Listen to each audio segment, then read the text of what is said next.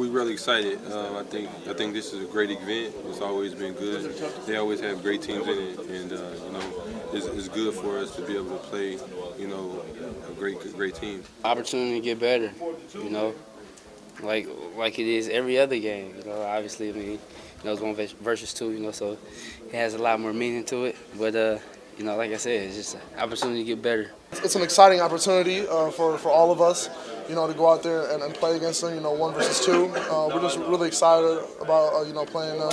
We just got to play ourselves, play play within ourselves and get the win. It wouldn't be talked about if they weren't, you know, as good as they were, but uh, are. But, um, you know, we're just, it's going to be two good teams playing. That's how I look at it. It's going to be fun. I mean, just the whole championship classics thing, you know being out there in Chicago, I mean, four great teams out there, us, Kansas, Duke, and Kentucky. You know, I mean, that's what that's what we came here for to play in big games like that. You know, it was a tremendous atmosphere last year, but I only I expect it to be way better this year just because the the the names that's going to be there, and it's just going to be it's going to be fun, real fun.